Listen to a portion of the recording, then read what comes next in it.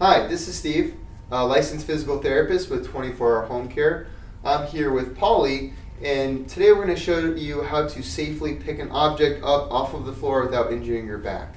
Okay, so what Polly's going to go ahead and do is she's going to approach the object with a nice wide base of support. She's going to get as close to the object as possible, all right? Then she's going to really use those legs by squatting down, grabbing the object. She's going to pull the object to her chest and then stand up, just like that, okay?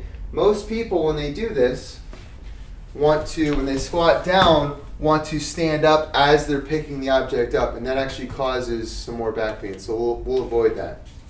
Now, the next thing that we're going to discuss is actually how to pick up a lighter object. So, we're going to use a pen, for example.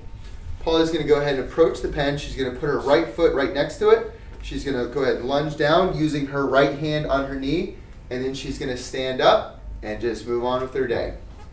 For more exercise videos, please refer to our website, www.24hrcares.com.